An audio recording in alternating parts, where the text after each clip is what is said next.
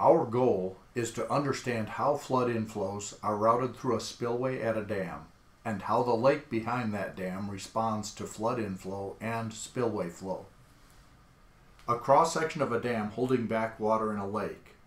Spillway gates on top of the dam are closed and will be opened to bypass excess water around the dam. Inflows into the reservoir will grow larger and smaller as the flood scenario evolves. Understanding three basic principles is key to understanding flood operations at a dam. First, when spillway outflow equals flood inflow, the lake surface will stay exactly the same elevation. Second, when spillway outflow is less than flood inflow, the lake surface will be rising.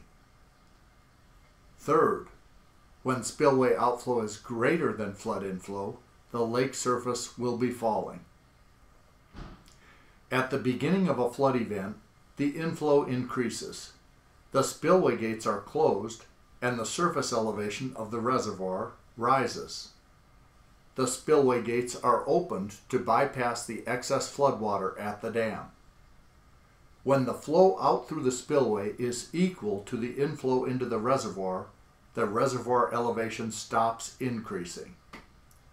After the peak inflow, as the inflow into the lake decreases, the flow through the spillway exceeds the inflow.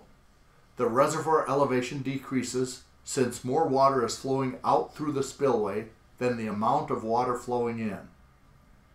After most of the inflow from a flood event has been bypassed at the dam, the spillway gates are gradually closed to store the remaining small inflows behind the dam.